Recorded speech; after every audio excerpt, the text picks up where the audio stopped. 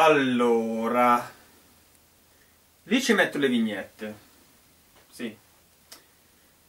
Poi... Qua ci metto Darth Vader, che piace sempre. Sì, però devo trovare qualcosa da fargli dire. Mi trovo sulla Terra, suppongo. Non sei obbligato a rispondermi. So già di trovarmi sulla Terra. Più o meno a metà del XX secolo. Nel 1957. Sì, proprio. Sei un po' in ritardo, eh? Di più di 50 anni. E sei in ritardo anche per il video sui viaggi nel tempo.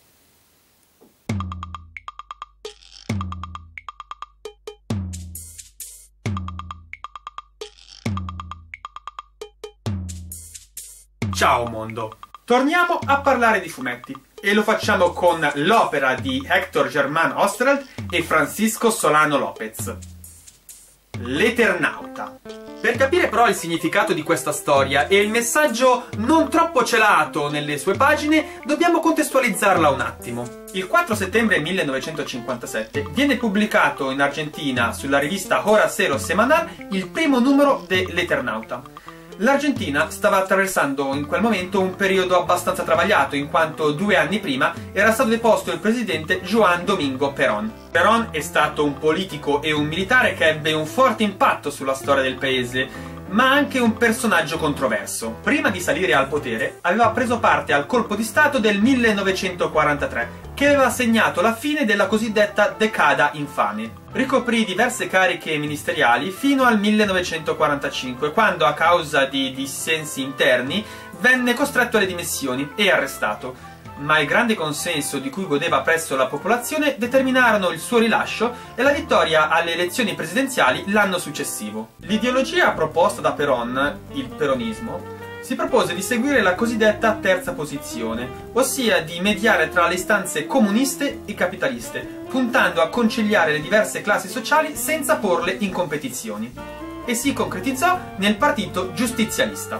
Sotto la sua presidenza, l'Argentina varò numerose riforme atte ad avvantaggiare i lavoratori, a modernizzare lo Stato e a statalizzare numerosi apparati del paese. Perón mantenne l'asilo politico che l'Argentina aveva concesso in passato a criminali di guerra nazisti, ma al contempo avviò trattative diplomatiche con Israele. Sebbene inizialmente non ci fossero contrasti con la Chiesa, l'approvazione di leggi a favore del divorzio e dell'aborto e la progressiva laicizzazione dello Stato contribuirono a creare una rottura che sfociò in uno scontro aperto. Il 16 giugno 1955 militari antiperonisti vicini agli ambienti cattolici fecero bombardare Plaza de Mayo durante una manifestazione la stessa piazza in cui, anni prima, i sostenitori di Perón erano riusciti ad ottenere la sua liberazione. Ci furono 364 morti e i descamisados, come venivano chiamati i sostenitori di Perón, reagirono con violenza, attaccando e dando alle fiamme diverse chiese. Il golpe che ne seguì portò alla deposizione e all'esilio in Paraguay di Perón e al ritorno in Argentina di un regime militare i partiti comunista e giustizialista vennero dichiarati illegali, la Costituzione venne abolita e gli oppositori politici vennero perseguitati. Si aprì un periodo caratterizzato da una forte instabilità, colpi di Stato, regimi più o meno autoritari e pressioni dell'esercito sulla vita politica. È in questo clima di aspre tensioni politiche che viene pubblicato L'Eternauta, scritto da Hector Germán Hosterel e disegnato da Francisco Solano Lopez, che narra le gesta... Senti Al, prima di iniziare a parlare dell'Eternauta, non dovresti dire Ascolta, anche che... sto cercando di fare un discorso serio, va bene? Evitiamo cadute di stile. Ah, cadute di stile. E allora tu di che stai per raccontare tutta la storia. Eh, sì, in effetti sto per spiattellare tutta la storia, finale compreso. Buenos Aires. A casa di uno sceneggiatore di fumetti, un misterioso individuo si materializza su una sedia. Un uomo con un'espressione vissuta, il cui volto e le cui mani sono solcate da profonde rughe. Dice di essere l'Eternauta, un viaggiatore temporale che vaga senza meta da un secolo all'altro e inizia a narrare la sua storia. La scena si sposta a casa di Juan Salvo, nome originale dell'Eternauta, Juan, proprio come Peron, che sta trascorrendo una piacevole serata tra amici giocando a carte. L'atmosfera è pacata, lieta, Juan pensa quanto sia fortunato ad avere dei cari amici, Elena, l'amata moglie, e Martina, la figlia, ma questa serenità è destinata a essere bruscamente interrotta. La pace familiare sparisce, sostituita da confusione, paura, orrore e incredulità. La catastrofe assume la forma di una nevicata, letali fiocchi di neve che uccidono all'istante qualunque essere umano tocchino. Neve luminescente, improvvisa, mortale, che ammanta e cela allo sguardo ogni cosa, lasciando solo una città distrutta, in rovina, silente. Subito colpisce l'umanità dei personaggi e i loro sentimenti, gli stessi che il lettore potrebbe provare in una situazione analoga. La preoccupazione per i propri cari prima e poi per gli amici ed i vicini l'improvvisa consapevolezza di quello che è successo, delle morti dei propri familiari, dei colleghi, dei conoscenti, di come la vita di qualche istante prima sia stata spazzata via, completamente annientata. In ogni tragica situazione c'è chi reagisce nel modo più diverso. Tutti, come Juan, hanno paura. Ma c'è chi cede al panico, come Polski. Chi fa di tutto per vincere il terrore e non apparire un codardo, come Lucas, e chi mantiene la mente fredda e prende in mano la situazione, come Favalli. Questo assume un significato particolare se inserito nel contesto argentino dell'epoca, perché rievoca nelle atmosfere e nelle dinamiche scenari di guerra, colpi di stato, conflitti che scoppiano improvvisamente, devastando vite, abitudini, città, Tali situazioni sono richiamate anche nella sensazione di impotenza, quando i superstiti assistono inermi alla morte dei vicini senza poter fare nulla per intervenire, e anche nella successiva riorganizzazione per sopravvivere. Essi dovranno infatti concentrarsi sul breve periodo, sulle necessità immediate, per non farsi sopraffare dallo sconforto. L'espediente narrativo adottato per fornire ai personaggi i mezzi con cui riorganizzarsi è la soffitta di Juan, centro degli hobby dei suoi amici e fonte preziosa di materiale d'ogni sorta. La prima preoccupazione, prima del cibo e dei medicinali, sono le armi. Infatti, le regole della convivenza civile sono state cancellate seppellite anch'esse dalla nevicata e sostituite dalla lotta per la sopravvivenza e dal sospetto reciproco. È a questo punto che vengono avvistate strane sfere nel cielo e i protagonisti capiscono che il loro pianeta è sotto attacco. Qualcuno ha pianificato la conquista della Terra e lo sterminio dei suoi abitanti. Da un lato, essi si trovano a dover sopravvivere ai loro stessi simili e dall'altro a dover affrontare una forza di invasione aliena spietata e dotata di un potere sconfinato. I terrestri, presi tra due fuochi, continuano a combattersi tra loro, ma sopraggiunge l'esercito che li costringe a fare fronte comune. Imprenditori, docenti, operai, garzoni, ogni sopravvissuto, tranne le donne, è chiamato a combattere e a opporsi all'invasore senza alcuna distinzione di ceto sociale. La situazione viene stravolta improvvisamente e nessuno ha il tempo, la forza o la volontà per obiettare. Sono appena diventati soldati e non dovranno più combattere per sopravvivere, ma per la propria libertà. Ognuno affronta la cosa in maniera diversa. Favalli con la sua fredda logica da scienziato, a volte anche un po' cinica. Mosca concentrandosi sulla registrazione degli eventi, da lasciare alle ipotetiche generazioni future. Salvo viene a patti con le proprie paure e con il senso di responsabilità che il comando comporta.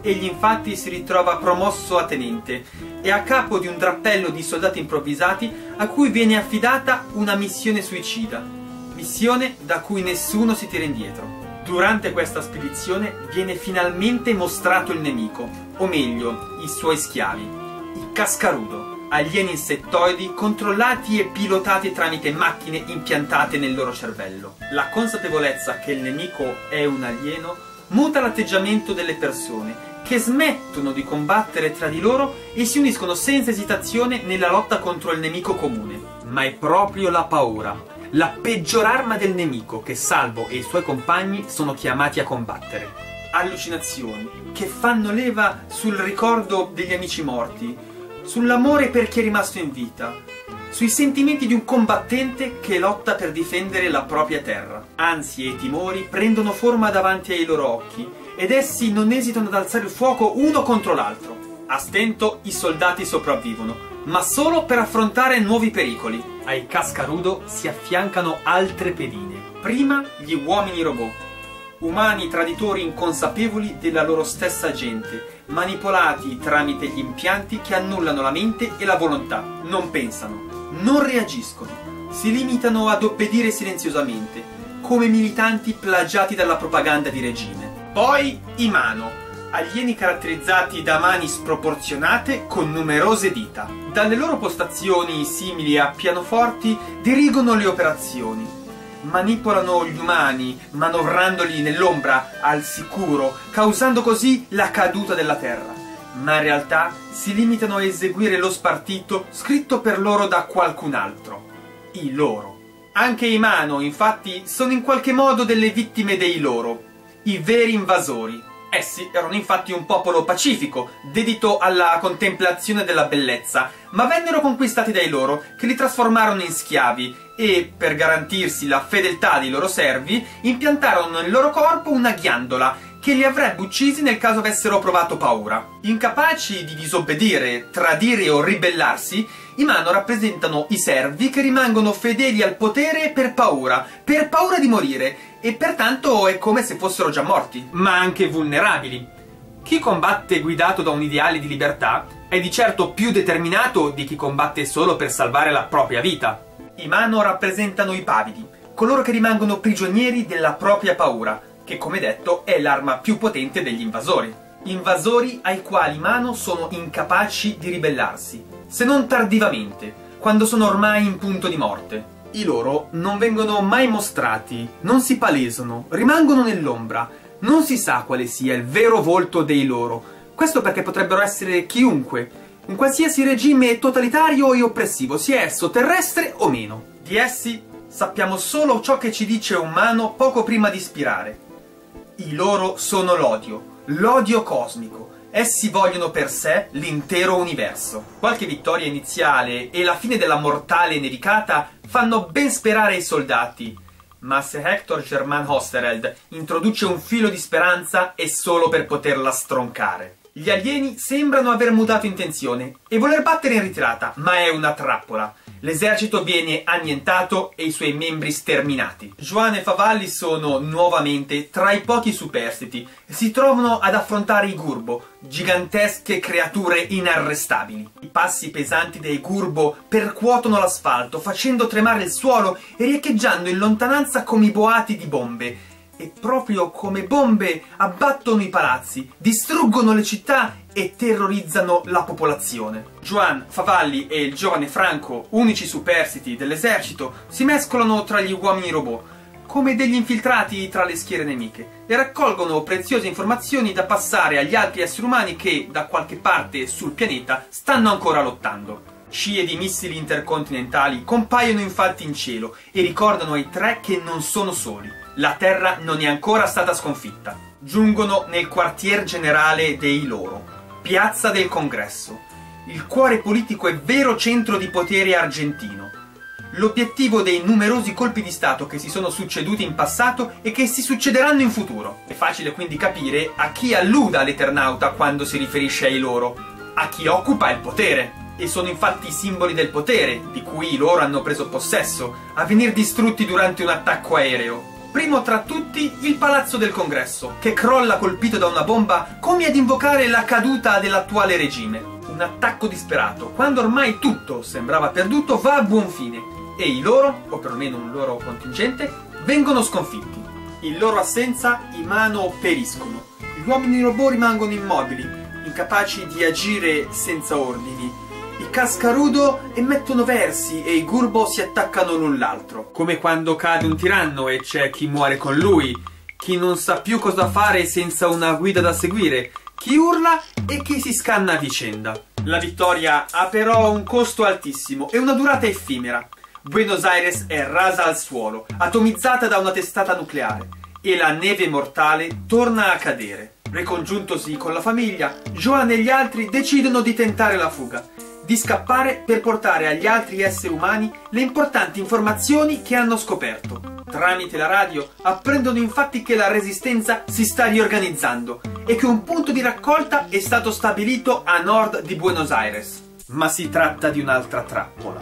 I loro controllano la radio, l'unico mezzo di informazione rimasto, e subito balza all'occhio l'analogia coi regimi che impediscono la libera informazione e manipolano le notizie. Favalli, Mosca, Pablo e Franco sono catturati e trasformati in muti e obbedienti uomini robot. Joan, con la moglie e la figlia, tenta un gesto folle, entrare in possesso di uno dei veicoli alieni e usarlo per fuggire. Ma qualcosa va storto ed egli si ritrova a vagare nello spazio e nel tempo un naufrago nell'eternità, da cui il suo appellativo, l'Eternauta. Solo, senza più nemmeno Elena e Martina, si ritrova su un pianeta deserto e sconosciuto. Qui un mano gli spiega ciò che egli è divenuto attivando il macchinario, un viaggiatore dell'universo e della realtà, destinato ad attraversare epoche e mondi per continuare l'eterna lotta contro l'oppressione ma i viaggi che Juan Salvo ha compiuto per compiere il suo destino, alla ricerca della moglie e della figlia perdute,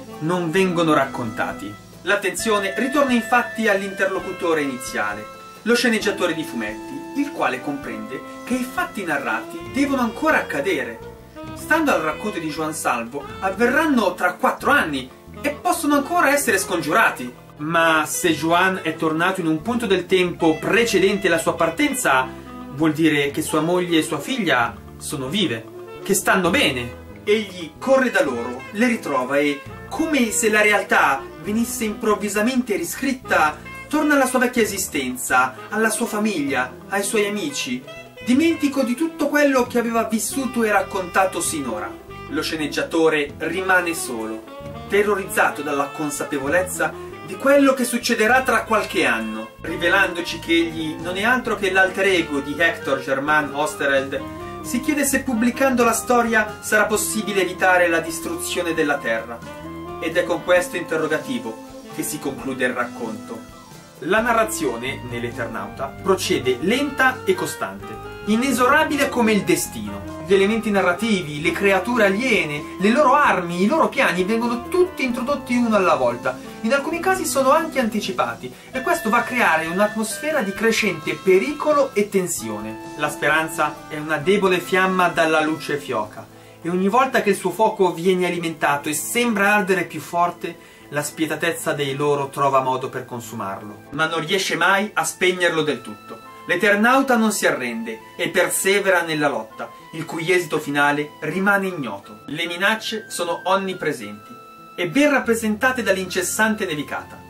Per la durata di oltre un anno editoriale, sulle pagine dell'Eternauta continuano a cadere fiocchi di neve, tanto candidi quanto mortali. Tramite l'Eternauta, Hector German Hostreld lancia pesanti accuse al regime militare, colpevole di aver spodestato Peron. Nelle vignette dell'Eternauta è anche possibile individuare messaggi d'appoggio al futuro presidente Arturo Frondizi, che sebbene fosse stato un oppositore di Peron, era comunque riuscito ad ottenere il suo appoggio dall'esilio durante le elezioni del 1958. Sebbene l'opera si riferisca alla realtà argentina dell'epoca, i suoi temi sono facilmente generalizzabili e la lotta contro i loro può diventare una qualsiasi guerra di resistenza contro un esercito invasore. I temi toccati dall'Eternauta vanno dall'invasione e occupazione alla conoscenza e comprensione del nemico, dalla manipolazione dei mass media alla tecnologia asservita al potere e usata per controllare la popolazione. Particolare attenzione è posta sul fatto che il potere non si sporca le mani direttamente, non si espone, ma preferisce servirsi di sottoposti, manipolare e tessere trame nell'ombra protetto da una cupola impenetrabile. Come distinguere quindi un nemico da un alleato? I deboli sono sfruttati e messi l'uno contro l'altro, che sia per la lotta per la sopravvivenza o perché la loro mente è stata svuotata, l'esito è sempre lo stesso, oppressi contro oppressi. Ed è il gruppo il vero protagonista della storia, è l'affiatamento, il senso d'unione, lo spirito di sacrificio che mantengono uniti i sopravvissuti. Juan Salvo non è il guerriero, non è il salvatore, non è l'eroe, è la persona comune, quale potrebbe essere il lettore, che ha paura, si vergogna, si fa prendere dallo sconforto, ma che sempre riesce a trovare il coraggio per fare la sua parte. Infatti, è proprio quando il gruppo viene meno, quando Juan si ritrova da solo, che la storia finisce. Ma oltre ad avere un forte significato politico, l'Eternauta è anche una grande opera di fantascienza, che anticipa e rielabora parecchi temi che verranno poi ripresi in futuro.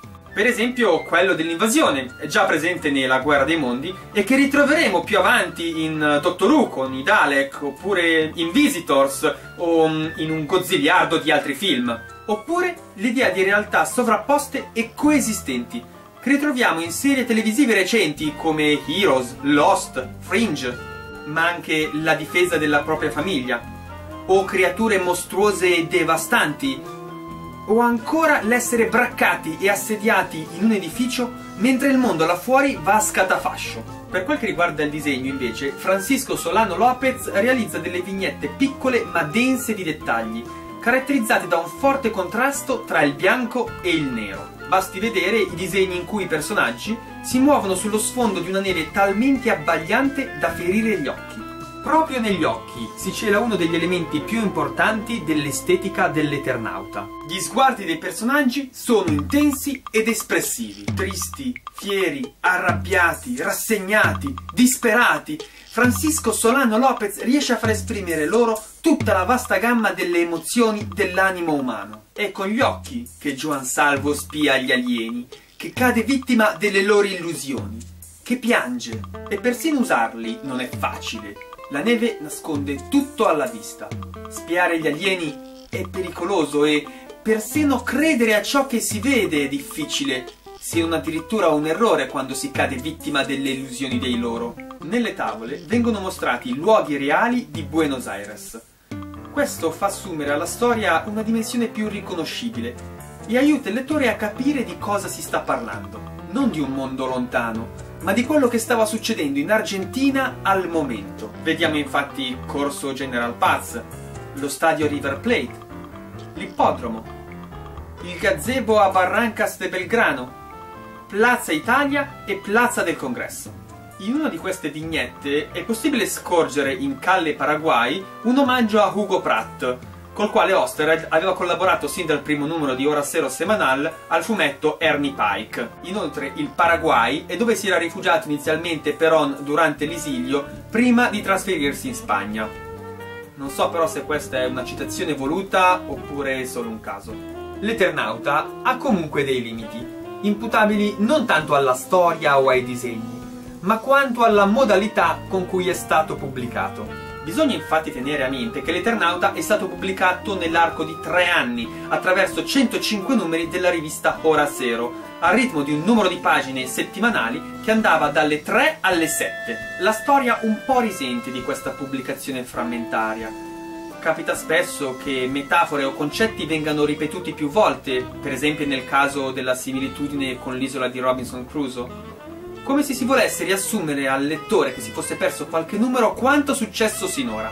Molto spesso le frasi sono spezzate tra una vignetta e l'altra, lasciate in sospeso e poi riprese e completate, e questo rende la lettura poco fluida. Inoltre, per tutta l'opera viene tenuto alto il livello di tensione, ma anche quando questo non è necessario.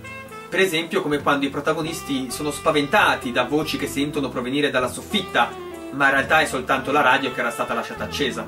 Questo perché probabilmente il fumetto sfruttava la serializzazione per inserire dei colpi di scena nelle ultime vignette del numero in questione, effetto che però viene perso leggendo l'opera tutta d'un fiato. Il volume della 001 edizioni ricostruisce l'opera nel suo formato originale, disponendo le vignette proprio come delle strisce e riorganizzandole per il formato orizzontale è stato compiuto un lavoro certosino di recupero e restauro dei disegni originali.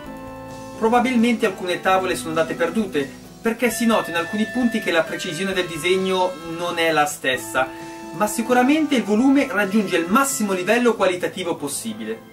Successivamente alla pubblicazione dell'Eternauta, le cose cambiarono in Argentina. In peggio. Nel 1962 il presidente Frondizi viene rovesciato da un ulteriore colpo di Stato e quattro anni dopo la stessa sorte tocca al suo successore, il Lia. Il nuovo capo di Stato, Ongania, sospese i partiti, il diritto allo sciopero, i contratti collettivi, l'autonomia delle università le minigonne e i capelli lunghi per i ragazzi. Ongania venne poi deposto nel 70 da una giunta militare e sostituito dopo qualche tempo dalla Nusse, che ripristinò le libere elezioni. Elezioni che nel 73 vennero vinte nuovamente da Peron, tornato in patria dall'esilio, che però morì di infarto l'anno successivo. Il paese versava in uno stato altamente instabile, in balia di scontri armati tra i diversi schieramenti politici, peronisti, Montoneros, AAA, e il coinvolgimento di interessi e forze straniere, quali la CIA e la P2 la P2. Isabel, moglie di Peron, ne raccolse l'eredità, prima di venire anch'essa rovesciata da un ennesimo colpo di Stato nel 1976. Colpo di Stato che permise l'ascesa al potere di Videla. Videla diede il via al cosiddetto processo di riorganizzazione nazionale, un'ulteriore svolta totalitaria in favore di un regime reazionario, filofascista e antidemocratico, macchiatosi innumerevoli volte di violazioni dei diritti umani. In questo periodo venne sciolto il Parlamento, aboliti i diritti civili, smantellati i partiti e sindacati, messi sotto controllo governativo tv, radio e giornali e introdotta la pena di morte. Gli oppositori alla dittatura venivano fatti sparire nel silenzio. Si stima che dal 1976 al 1983 durante il processo di riorganizzazione nazionale, oltre 30.000 sospetti dissidenti siano divenuti desaparecidos. L'Eternauta era stato profetico. I loro avevano vinto. Anche Osterheld cambia in questi anni. Nel 1962 continua l'Eternauta sotto forma di racconti, su una rivista che reca lo stesso nome dell'opera. Il romanzo è destinato a restare incompiuto ed è di prossima pubblicazione in Italia sempre dalla 001 Edizioni. Dal 1968 l'impegno politico di Osterheld si fa più diretto. Sotto l'influenza delle sue figlie, Diana Irene, Beatriz Marta, Estela Ines e Marina, si avvicina ai Montoneros, gruppo guerrigliero peronista. Inizia un progetto per pubblicare biografie di personaggi celebri del Sud America. Riesce a realizzare soltanto il primo numero, dedicato a Che Guevara, ma le copie vengono sequestrate e distrutte dal governo. L'anno seguente realizza una seconda versione dell'Eternauta, un remake che verrà pubblicato sulla rivista Gente, i cui disegni sono affidati ad Alberto Breccia. Una versione molto più esplicita nei contenuti, con attacchi diretti al regime, ma anche al capitalismo americano e all'esercito, che nella prima opera era stato presentato positivamente. Questo in base a quello che ho sentito, eh, perché io in realtà non l'ho letta. Il credo politico e ideologico di Osterheld permea tutti i suoi lavori successivi, culminando nel 1976, all'indomani dell'ascesa di Videla, nell'Eternauta 2, pubblicato sulla rivista Scorpio e noto anche come L'Eternauta Il Ritorno. Juan Salvo ritorna, come rispondendo alla nuova crisi che sta attraversando l'Argentina. Le vicende riprendono da dove le avevamo lasciate. L'incredulo interlocutore dell'Eternauta ha pubblicato la sua storia, due volte a fumetti e una volta in un libro esattamente come nella realtà. Sembra l'unico a credere agli eventi che sono stati raccontati ed è sul punto di impazzire, ma nonostante questo è accolto da Joan e dai suoi amici. E durante una partita a carte, proprio come nella prima storia, qualcosa cambia e anche Joan inizia a ricordare. Sta accadendo qualcosa. Ma come dichiara l'Eternauta, non si tratta di nuovo della nevicata, è qualcosa di molto peggio. Peggio dei loro peggio del passato, peggio di un'invasione aliena raccontata in un fumetto, perché la realtà ha superato la fantasia. È alla realtà oltre le vignette del fumetto ciò a cui si riferisce Joan, il cui sguardo penetrante esce dal foglio per incontrare quello del lettore. Germain, Joan Salvo, Elena e Martina si trovano in un nodo spazio-temporale che ha trasportato la casa da qualche parte nel futuro, abbandonando Favalli e gli altri. Il tempo si è riannodato e ora si trovano nel 2100, in un futuro in cui il piano dei loro ha avuto successo e la terra è caduta. Juan prende in mano la situazione e fa le veci di Favalli, mentre invece adesso è Germain a essere incredulo e a dover affrontare una nuova realtà. Anche il racconto è narrato dal punto di vista di Germain, è lui il narratore protagonista, non più Joan. Questa traslazione di ruoli identifica Germain, alter ego dell'autore, col protagonista della vicenda. Autore e personaggio si sovrappongono e la storia dell'Eternauta diventa la storia di Hector Germain Osterheld. L'incertezza e la paura del primo volume sono sostituite da un'atmosfera di costante pericolo, incarnata in ombre fugaci, suoni minacciosi, animali selvatici e una misteriosa astronave. Così come per l'Argentina del 1976, anche il mondo dell'Eternauta è cambiato. Il clima, la fauna e la flora non sono più gli stessi. Gli animali, forse mutati a causa delle radiazioni, sono diventati più aggressivi e intelligenti. I luoghi un tempo familiari sono ora irriconoscibili, come il Rio della Plata, che col tempo ha scavato un profondo canyon. In questa storia non sopravvivono nemmeno le case o le auto sepolte dalla coltre di neve. Non c'è più nulla. Durante la prima uscita dei due uomini, la casa viene distrutta da un burbo. Elena e Martina paiono essersi salvate, ma trovano altre impronte umane oltre le loro. L'umanità, in qualche modo, deve essere sopravvissuta anch'essa a quanto accaduto. E infatti, mentre l'inquietante astronave continua a sorvolare questo mondo desolato, si imbattono nei sopravvissuti umani, il popolo delle caverne, un gruppo di fieri ragazzini di cui riescono a conquistarsi la fiducia. Vengono però attaccati dai brutali Zarpo. Durante questo primo scontro è possibile osservare quanto sia mutato il carattere dell'Eternauta. È più determinato, senza esitazioni, disposto a usare Germain come esca e capace di uccidere a mani nude lo zarpo che portava con sé il fazzoletto di sua moglie. Completamente diverso rispetto al Juan Salvo a cui eravamo abituati. Un cambiamento che sicuramente riflette i mutati sentimenti dell'autore. Ma Elena e Martina sono salve, recuperate dal popolo delle caverne, che spiega come sia cambiata la situazione sul pianeta. L'invasione si è conclusa da tempo e l'umanità ha perso tutta la conoscenza e il progresso che aveva raggiunto. Il popolo delle caverne, discendente dei pochi sopravvissuti, vive in uno stato di sudditanza verso il forte, una cittadella inespugnabile in mano ai loro. Non a caso il forte porta l'antico nome della Casa Rosada, il centro del potere esecutivo argentino dove risiedono gli uffici della presidenza. Ogni tentativo passato di ribellione è stato stroncato nel sangue anche grazie all'impiego degli Zarpo, che vengono creati artificialmente nei laboratori del forte. Non siamo più in presenza di un tentativo di invasione. Gli alieni hanno già vinto, l'uomo ha perso, la libertà è andata perduta. Recentemente però qualcosa è cambiato. I viaggi dell'astronave verso il forte si sono fatti più frequenti e un mano giunge con nuove richieste. Ma Joan incita il popolo delle caverne.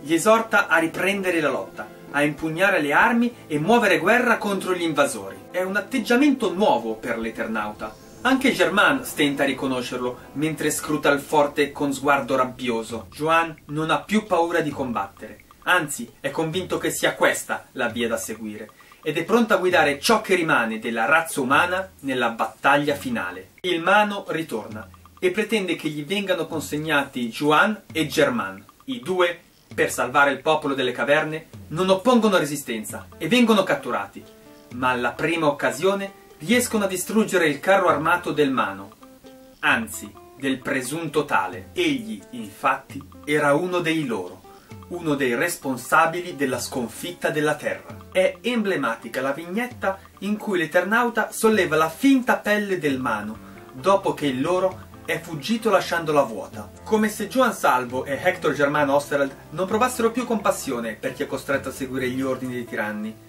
Anzi, sembrano ritenerli colpevoli tanto quanto i despoti. Chi non si oppone direttamente, in prima persona, con le armi, è complice della tirannia. Infatti Joan organizza la resistenza del popolo delle caverne, riparando il carro armato sottratto al nemico, recuperando polvere da sparo, e sovrintendendo la fabbricazione di armi da fuoco. Inoltre l'Eternauta sta lentamente acquisendo coscienza che qualcosa è mutato anche in lui. Inizia ad avere visioni, intuizioni, premonizioni. Anche la sua forza fisica è aumentata e sembra possedere un'intuitiva comprensione del funzionamento delle cose, ma non ha idea del perché. E forse è proprio questo a renderlo così freddo e distante, in grado di uccidere un umano soltanto con lo sguardo, incutendogli una paura tale da attivare la sua ghiandola del terrore. L'Eternauta appare a tratti disumano, proprio come i suoi nemici. Giunge infine il giorno del contrattacco. l'Eternauta guida una ventina di uomini, tra cui Germain, in un'azione disperata contro il forte. In questa missione, un mano, usando il Chronomaster, spedisce la squadra nel passato, durante l'invasione dei loro. Qui, nel gazebo dove era già stato tenuto prigioniero, Juan scopre la verità. I suoi poteri gli derivano da una mutazione che ha sviluppato ed è stato mandato nel futuro da un loro che ha rinnegato e tradito la sua razza, ma che per questo è stato ucciso. Egli però riesce ad avere la meglio sul mano che l'ha catturato e sui suoi uomini robot, tra cui riconosce gli amici Favalli, Franco e Mosca. Vecchi e nuovi alleati cadono sotto i colpi del nemico, ma questo non ferma la lotta non ferma Juan, che è disposto persino a sacrificare i propri compagni per il buon esito della missione. Juan, Germain e il fidato Bigua penetrano all'interno del forte, che sorge sopra i resti di un vecchio cimitero. Metaforicamente, il potere degli invasori sorge sopra i corpi di numerosi morti. I tre giungono al cospetto di un loro, che viene mostrato come una massa informe, senza un vero volto, una nube o forse dell'energia distruttrice. Una sorta di guscio, al cui interno si cela il nemico. Sono messi con le spalle al muro, ma Juan rivela di aver già sabotato il forte, che inizia ad ardere e ad essere consumato dal fuoco atomico. Come già fatto in passato, egli non esita nel sacrificare un compagno, Bigua, pur di raggiungere il suo obiettivo e uccidere il loro. Germain, unico altro superstite della spedizione, è sempre più sconvolto dalla sua freddezza. I due riescono a fuggire in volo e raggiungono le caverne, dove si sta consumando l'ultimo attacco degli Zarpo. Il loro arrivo ribalta le sorti dello scontro e salva il popolo delle caverne. Per riottenere la libertà è stato però pagato un costo enorme. Innumerevoli uomini, donne e bambini hanno perso la vita e tra questi vi sono i nuovi amici di Germain e i familiari dell'Eternauta. È soltanto dopo la fine dello scontro e l'esplosione del forte che l'Eternauta si concede il privilegio di piangere. Joan Salvo ha guidato la resistenza con una determinazione disumana ed è stato disposto a sacrificare chiunque, senza dubbi o esitazioni. Ogni vita può essere immolata alla causa, quella dei suoi compagni, la propria, quella di Germain o quella dei suoi cari. Come in ogni guerra, dopo il conflitto viene il tempo della ricostruzione e e Germain aiutano il popolo delle caverne a ricostruire la società. Ognuno cerca di guarire dal dolore delle morti, di superare le perdite, ma... ma qualcosa trasporta nuovamente Germain indietro nel tempo. Nel 1976 qualcuno ha attivato un altro Chronomaster? Una nuova guerra si profila all'orizzonte? Un nuovo nemico da combattere? La guerra contro l'oppressione e la tirannia è una lotta eterna e l'Eternauta continua a combatterla, seguendo il suo destino. Joan Salvo e Germain si avviano assieme verso questa nuova vecchia battaglia. Il secondo capitolo dell'Eternauta è ancora una storia di resistenza, ma la resistenza diventa il fine, non un mezzo. Gli uomini sono chiamati a combattere e morire anziché chinare il capo, anche se la sconfitta è certa. Questa volta anche le donne e soprattutto i bambini prendono parte alla lotta. Un'altra differenza col capitolo precedente è la presenza di fronti netti, buoni da una parte, cattivi dall'altra, senza nemici interni, altri esseri umani che lottano per la sopravvivenza o mano che si pentono in punto di morte. Nella storia, oltre al crescere della rabbia e del fanatismo dell'Eternauta, è possibile vedere anche il cambiamento di carattere di Germain. Da persona solitaria e senza legami, si affeziona al popolo delle caverne e giunge a considerarlo come una famiglia. Sarà proprio l'amore che nutre per lui che gli darà la forza di vincere le esitazioni e di combattere. In questo secondo volume la lettura scorre più fluida rispetto al primo, sia per quel che riguarda i dialoghi, sia per l'organizzazione delle vignette, anche se ho trovato il disegno un po' meno curato nei dettagli, ma forse questo dipende dal grande formato che perde un po' nei particolari. Dopo la morte di Ostereld, la saga è continuata con altri capitoli. L'Eternauta parte terza del 1983, L'Eternauta Il mondo pentito pubblicato tra il 1997 e il 1998. L'Eternauta L'Odio Cosmico, pubblicata nel 1999. L'Eternauta Il Ritorno, pubblicato tra il 2003 e il 2006. L'edizione del cinquantesimo anniversario del 2007 e il libro dell'Eternauta L'Odio Cosmico del 2008. Questo testimonia quanto l'Eternauta sia sempre attuale e abbia sempre qualcosa da dire. È davvero un'opera eterna e lo rimarrà finché esisteranno regimi liberticidi.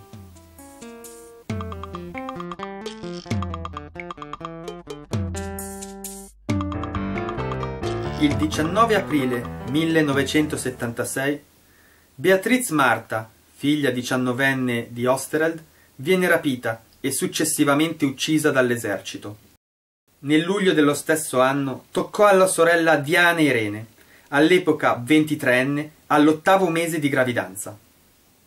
Il marito venne ucciso durante il rapimento.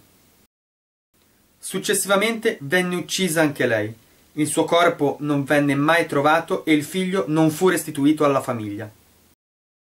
Il 27 novembre, sempre del 1976, venne rapita la loro sorella Marina, all'epoca diciottenne, al secondo mese di gravidanza. Non si seppe più nulla, né di lei né del figlio. Il 27 aprile 1977, mentre l'Eternauta Il Ritorno era ancora in corso di pubblicazione, Hector Germain Osterheld venne rapito. Il suo corpo non fu mai più ritrovato. Nel dicembre dello stesso anno, l'ultima figlia di Osterheld, Estella Ines, venne uccisa assieme al marito. Il figlio venne sequestrato e solo in seguito consegnato alla nonna materna dopo essere stato mostrato a Osterheld durante la sua prigionia.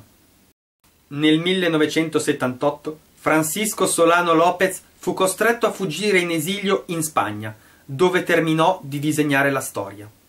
La rivista Scorpio dell'editorial Record continuò la pubblicazione dell'Eternauta e il ritorno fino alla sua conclusione, nell'aprile del 1979, senza fare mai alcuna menzione alla tragica situazione degli autori.